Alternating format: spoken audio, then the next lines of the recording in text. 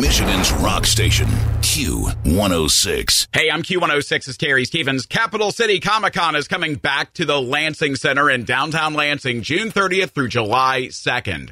Once again, it has a star studded lineup of geek culture celebrities. We're going to be talking to them in the weeks leading up to the big show. Our guest this time around, he was featured in Face Off Season 8. Special effects artist, Rob Miller. Q106, what's your name? Where are you from? That's Robert Miller. I've um, called for the interview. Robert Miller, you're talking to Terry Stevens, man. How you doing today? Good. How you doing? I am surly and belligerent, uh, but that's uh, more has to do with my uh, upbringing than anything else. But Rob, we are so looking forward to hanging with you and everybody else. Capital City Comic Con coming up June 30th through July 2nd. So let's dig into it, man. You are a Michigan native. Where are you from, dude? I'm from Monroe, Michigan. Okay, we won't hold that against you. I've been to Monroe. They haven't, they haven't kicked me out so far. Well, Monroe's known for uh, General Custer, and then uh, when he left to go to war, he said, "Don't do nothing until he gets back," and we're still waiting. I love it. I love it. I love it. Well, well, maybe we can get a zombified version of uh, General Custer out of your shop there, because, dude. So I'm browsing through. I'm browsing through your work. You do some incredible stuff, man. So, so Rob, how did you get started in in, in your monster factory that you got going on here? Well, it started back when I was probably early on watching Star Wars as a young kid, collecting toys and whatever toys they didn't make.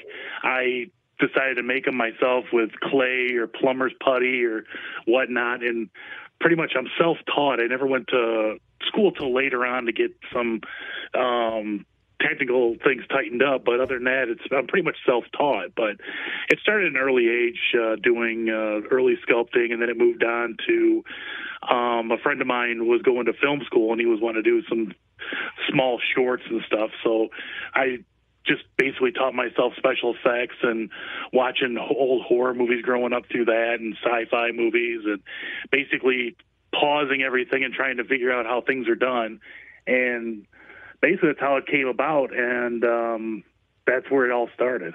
That's that's rad, man. So at this point now, I'm, I'm I've looked at your bio, and I mean these things are updated sporadically at best. Are you still an automotive sculptor at the Ford Motor Company Product Development Center?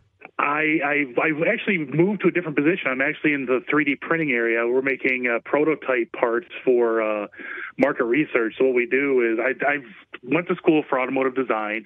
I did uh, sculpt cars for years, but now that I'm in the 3D, uh, now that the technology is moving on and getting more advanced, we're doing more 3D uh, rendering and uh, 3D production. So what we do is we make um, uh, like prototype parts and then we test them and then see we send them out for blind market research and then we get the um, consumers input on it. Then it comes back to us and we make what changes have to be done or if they like it we keep it. If they there's things that they didn't like we try to figure out what to do to change them to make them better.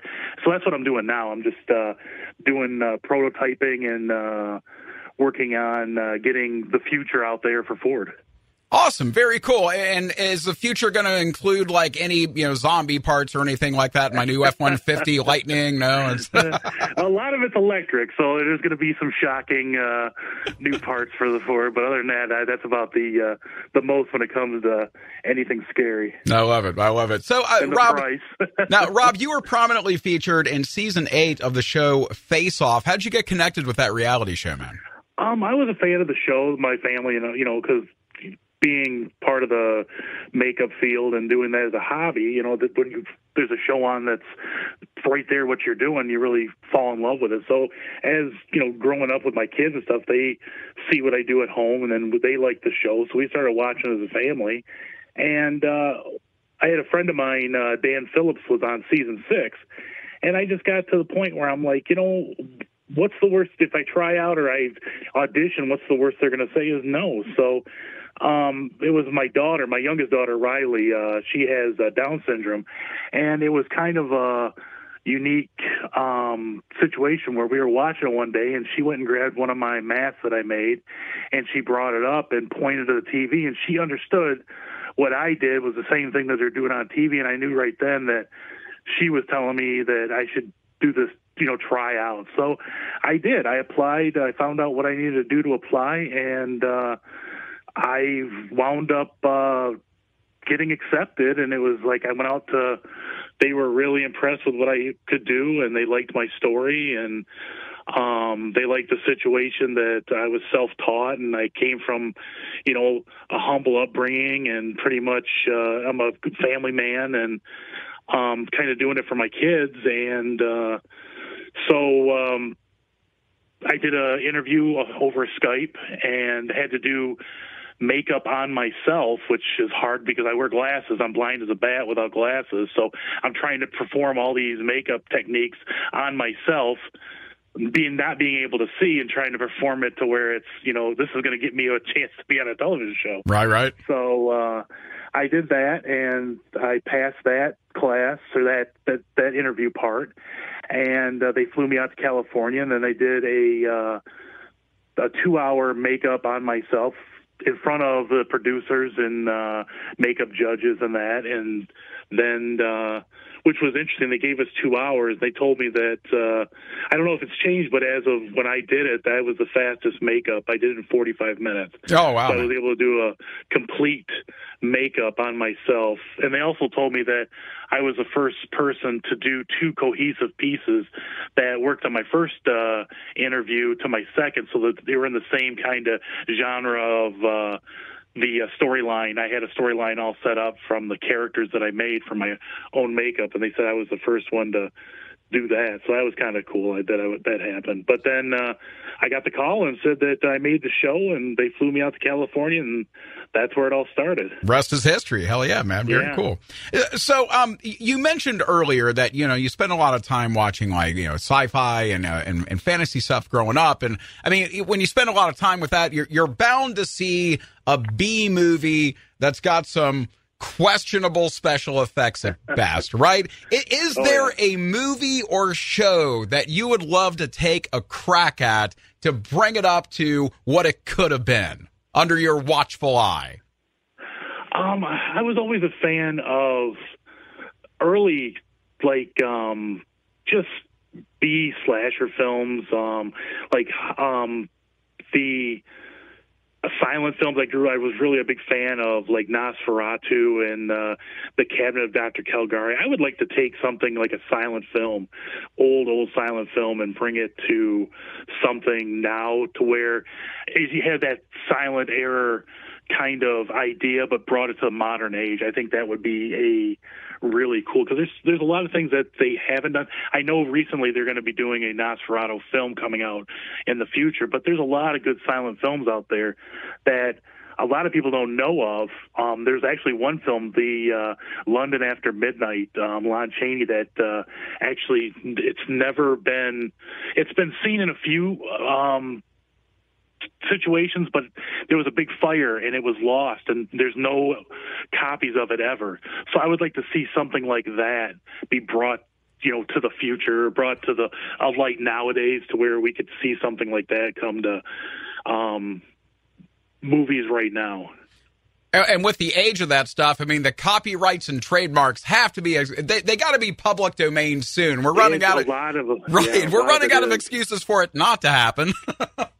Well, I'm, I'm surprised that you know they, they keep remaking all these you know films, but there's so many good um, silent films and early you know early early films. They call them talkies when they started doing sound, but early um, horror films that are fantastic, have a great storyline, but you know they were made so long ago that they didn't have the technology that we have today, and it would really really be something to see some of those older movies brought forth today.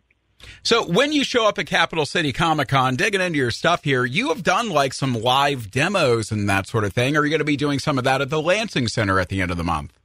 Um, I'm not 100 percent sure. Um, I uh, not to bring this uh, interview to a you know a downer, but I've had a lot of health issues this year, and I've been kind of getting back on my feet, and it's been a, it's been a rough couple of years for me. And I've had a lot of major um, health things, and this is really the first show that I'm doing. I had to cancel a lot of shows just for health reasons, and Oh, I had to man. concentrate on taking care of myself before I did.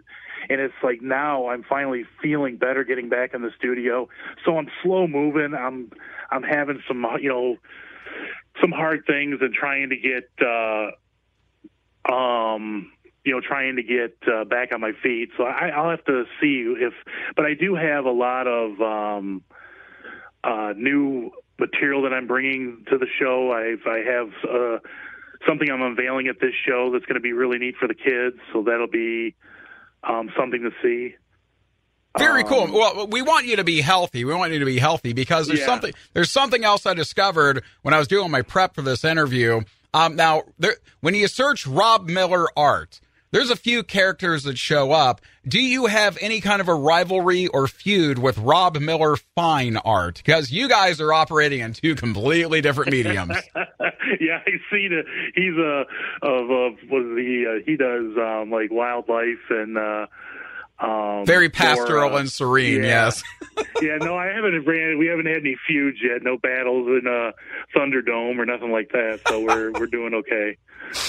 That's awesome. Well, Rob, hey man, you rest up, you do what you got to do, and uh, we will see you June 30th through July 2nd, Lansing Center in downtown Lansing, Capital City Comic Con. Have you been to this one before? Have, have you visited Lansing before? Yes, yes. This is I did it uh, three years now in the row. So this is a great show. They they got a great team out there.